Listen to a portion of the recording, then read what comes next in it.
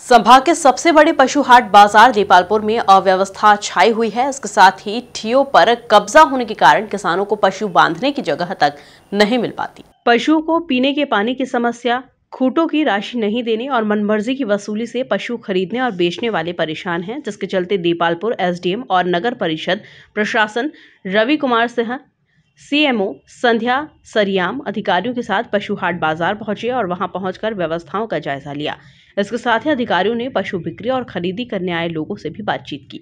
शिकायतें मिली थी, उसके बारे में मैंने आज यहाँ पे आके जाँच किया है। और पहली बात तो पूरी प्रक्रिया इनकी समझा है आज मैंने।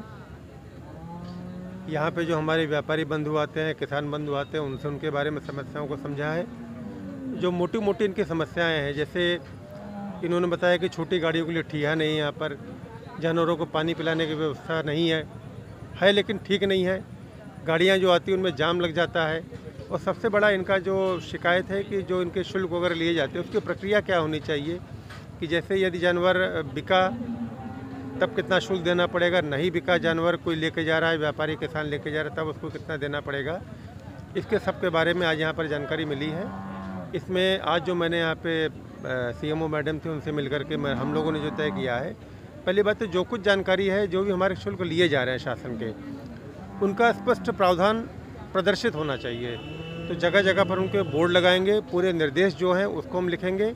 नंबर एक, माइक लगाऊँगा यहाँ पर, जो हमारे कंट्रोल रूम बने जैसे माइक से हम अनाउंस करते रहें कि जी, कितना शुल्क देना है, रसीद लेना है, कौन सी रसीद, किस कलर की, जैसे ठीक रसीद पीले रंग की है हमारी चेक पॉइंट की रसीद गुलाबी रंग की है।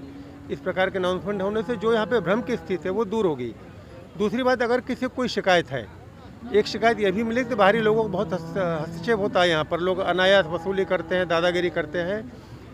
मेन मेरा जो मुख्य मेरा उद्देश्य था, वो यही देखने के लिए था बाहरी तत्व तो यहाँ पर क्यों आता है और कैसे उसको प्रवेश मिलता है, इसको बिल्कुल सख्ती से रोकूँगा, सख्ती से रोकूँगा। किसी की दादागिरी, किसी की बदमाशी यहाँ पर बिल्कुल नहीं चलने पाएगी। अगर कोई भी शुल्क आ रहा है मेरा सबसे निवेदन भी है कि अगर जो भी शुल्क है सबकी रसीद लें वो लोग। रसीद बिल्कुल ले हंड्रेड परसेंट ले। अगर कोई नहीं देता रसीद तो बिल्कुल उसकी शिकायत करे उस कर्मचारी के खिलाफ कार्रवाई की जाएगी। जितनी राशि है केवल उतनी की रसीद की कट रही है उतना शुल्क भुगतान करे वो।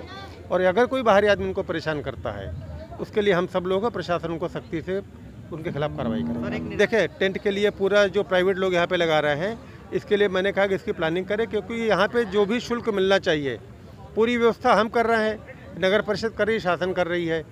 और प्राइवेट आदमी यहाँ पे टेंट लगा रहे हैं, इसको हम धीरे धीरे कम करेंगे। कोशिश ये करूँ, पूरी व्यवस्था नगर परिषद करे। भले हम साल भर का ठेका दे दें किसी टेंट वाले को। कम से कम नगर परिषद कुछ आए तो हो उससे कि भाई, मान लीजिए टेंट हाउस वाला है, जो लोग टेंट लगा रहे हैं, आज यहाँ पे मान लीजिए उन्होंने दस हज़ार रुपये कमाया। तो हमको भी नगर परिषद को कुछ उसका हिस्सा मिले। दूसरी बात, हम उसकी गुणवत्ता देखें कि जैसे ये जो टेंट लगे हैं, कई जगह बिल्कुल फटे हुए हैं ये। कोई सुरक्षा नहीं है, इनके अभी पानी बरसने लगे, जानवरों के ऊपर पानी गिरेगा सब उसका। अगर हम सुविधा दे रहे हैं, शुल्क ले रहे हैं तो उसमें हम अच्छी क्वालिटी की इनको सुविधा देंगे। इस दौरान किसानों से प्रशासन बात कर रहा था तो नगर परिषद के कर्मचारी अपनी सफ़ाई देने में लगे हुए थे। Bureau report, MP news, Depalpur.